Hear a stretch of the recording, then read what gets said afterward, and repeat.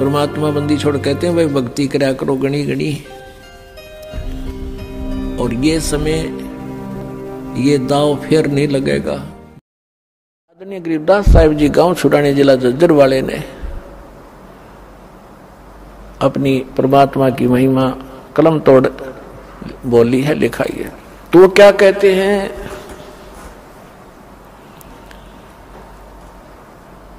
परमात्मा की महिमा बताई है। मन तू चल रे सुख के सागर, जा शब्द सिंधु रत्नागर सुख सागर किसे कहते हैं? शंखों लहर मेहर की उपजे, कहर नहीं जा कोई। शंखों लहर मेहर की उपजे कहर नहीं जा कोई।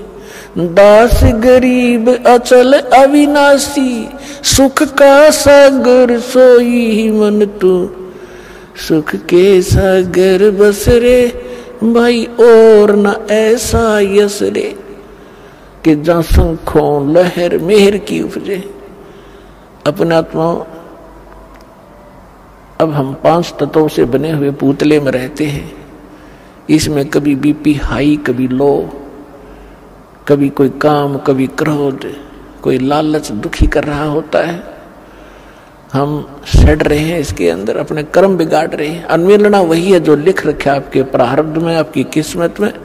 इसे अधिक नहीं मिलेगा, इसे न्यून भी नहीं रहेगा।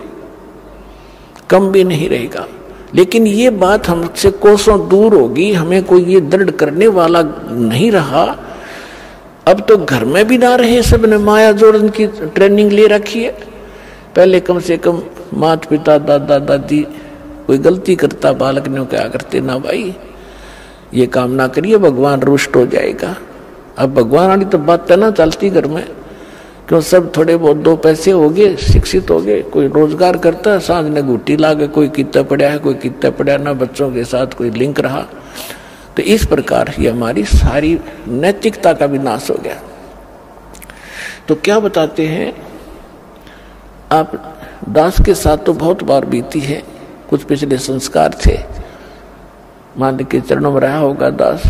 तो कई बार जब अकेला होता हूँ एक आध बार ऐसी हिलोर उठती है अंदर से, चाहे हमें किसी ने हमें कितना ही सता रखा हो, कितना दुख दे रखा हो, चाहे कुछ पैसे भी मार रखे हो, चाहे कभी गाली गलोच भी कर रखा हो, उसके प्रति भी दोष नहीं रहता।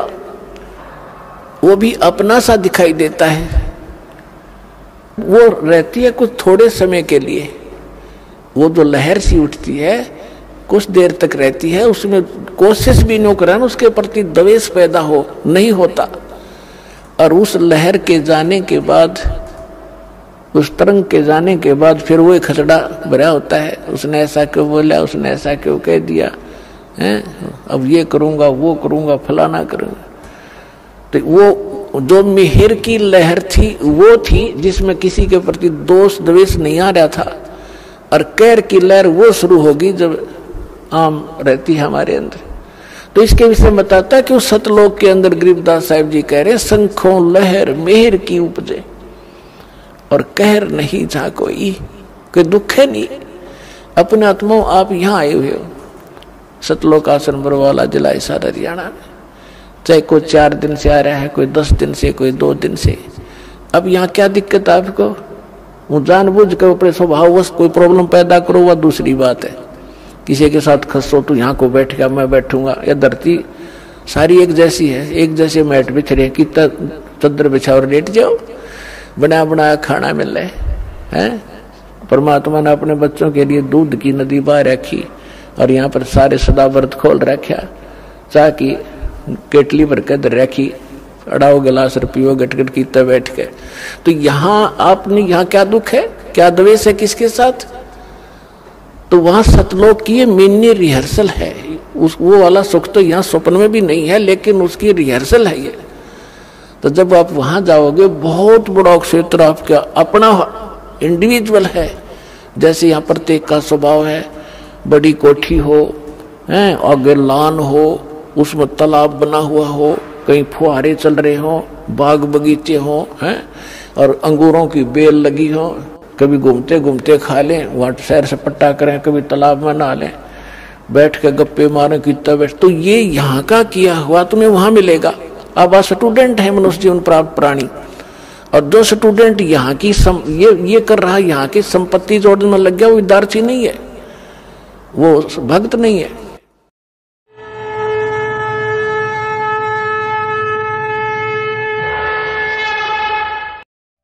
हमसे जुड़े रहने के लिए हमारे YouTube चैनल को सब्सक्राइब करें और नई वीडियो की नोटिफिकेशन के लिए बेल आइकॉन को दबाएँ।